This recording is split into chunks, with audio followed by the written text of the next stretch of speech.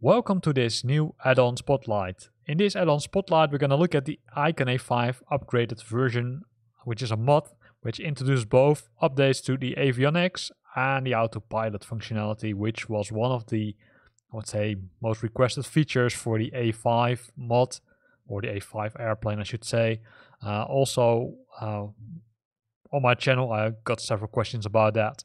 And luckily Faro Steve has uh, now created this uh, mod so this mod again adds some uh, new stuff to it. It adds the uh, new, I would say, new computer in the center, and it adds the autopilot functionality as already mentioned.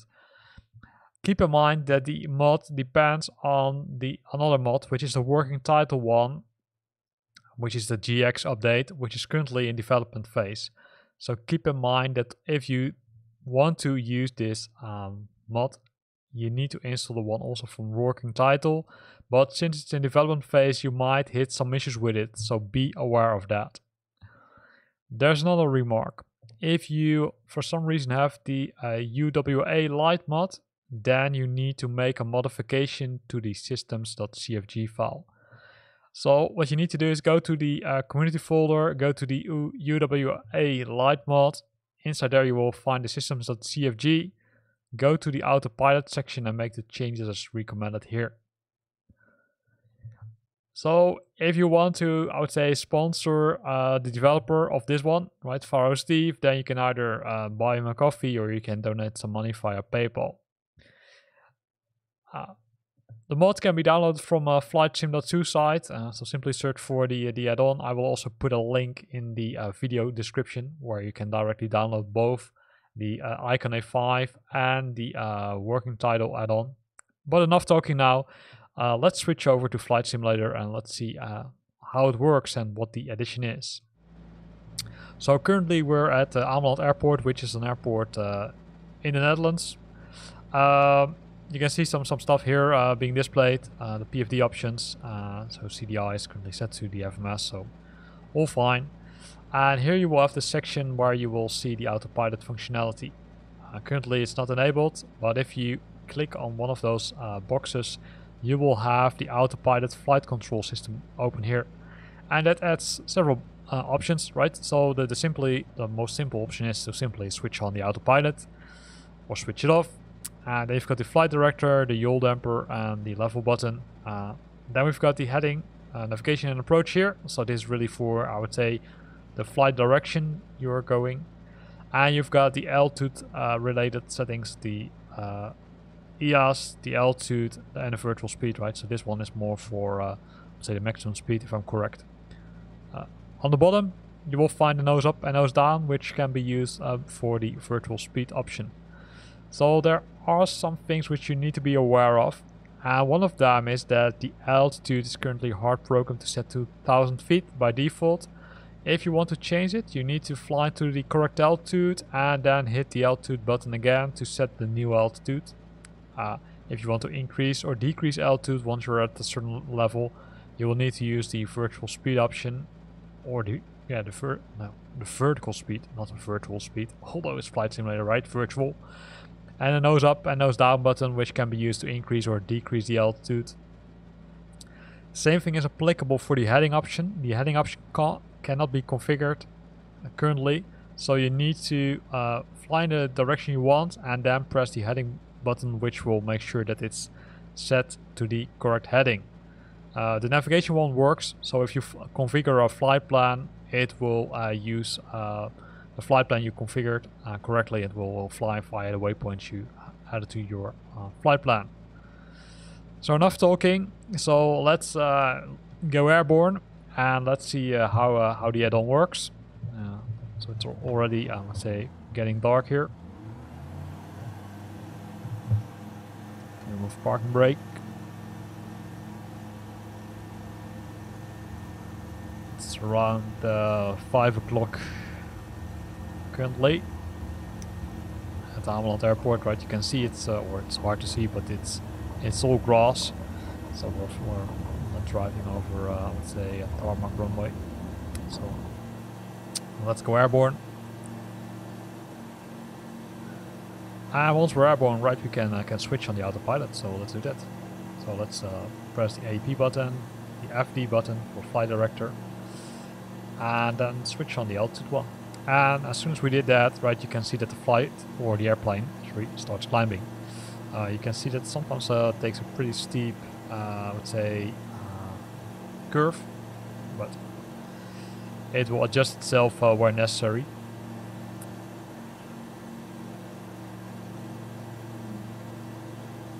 So we're, when we're almost at the altitude, right, uh, like all other airplanes, like with all all airplanes, you will see that the uh, altitude will start blinking, right, the target altitude, and then the airplane will uh, level off there, so it will uh, start decreasing the, the altitudes here.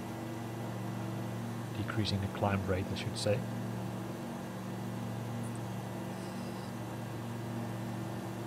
So all nice.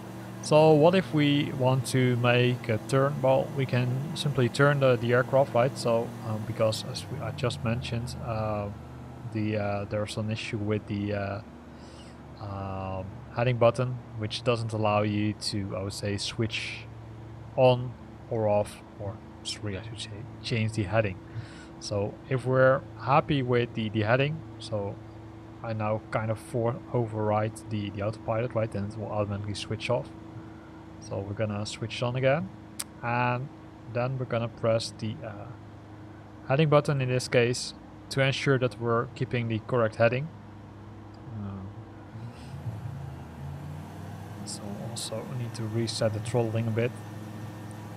So there are some issues with the, these mods, right? So not with the mod from uh, but especially with, with G3X, which which sometimes acts weird, which results in, in weird stuff, right? So as you can see, we're, we're currently almost at the altitude, but I will show you some stuff when you're using the virtual speed, when you're pretty close to the altitude, it sometimes thinks, hey, I'm at the correct altitude already, right? So why should I change my altitude and that will directly flip back to the altitude mode.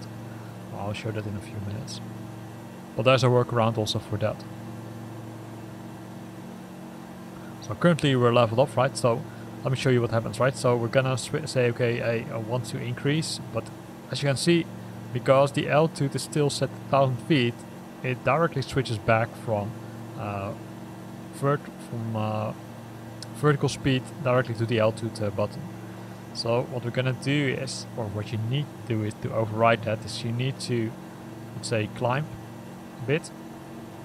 So again, right, so the best thing is to, to switch off the autopilot. Simply pull back very hard, then also uh, switch off the autopilot, but I think uh, we're going for the, uh, I would say, more recommended way. So then we're gonna switch on the autopilot again. So as you can see, currently it tries to decrease, right? Because it needs to go to, it wants to go back to the, uh, let's say, already, uh, the already pre-configured uh, altitude. Now we can simply set it to 1000 feet, or to plus 500 uh, feet, sorry. And we're going to climb to, uh, let's say, shall we do? Um, 2000 feet. And once we're there, we will press the altitude button that will update the altitude value here and will level off the airplane. So, oh nice. So some windmills here.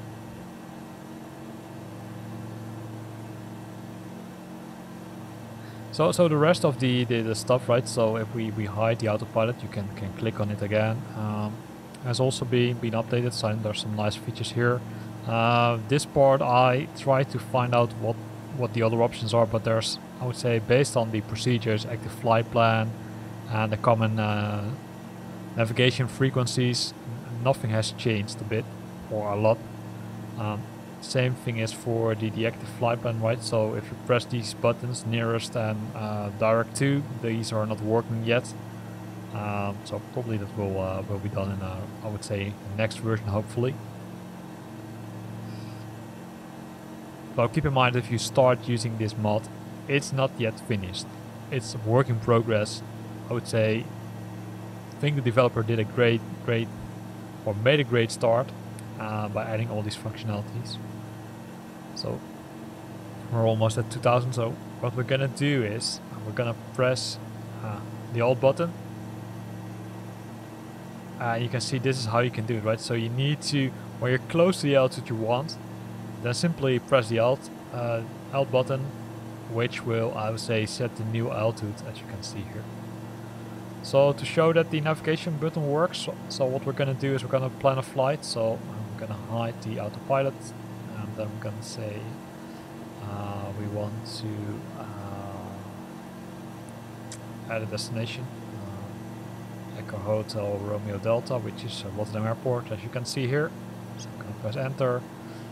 Um, should have set it like this. Move it at destination. Uh, Echo Hotel Romeo Delta. Then press enter and then the flight sim crash. So keep in mind that this also could happen in your case, right? So be aware of that, that there are still some issues with the mods which could result in this behavior if you're, I would say, not wanting to to I would say take these risks, then don't ins install the uh, especially the G GX1 because I think this one is causing uh, most issues to be honest. Uh, if you hit issues with uh, with this add-on, then consider to uh, sign in with uh, with GitHub and report the issues here. Uh, and you can see several people already uh, reported issues on there.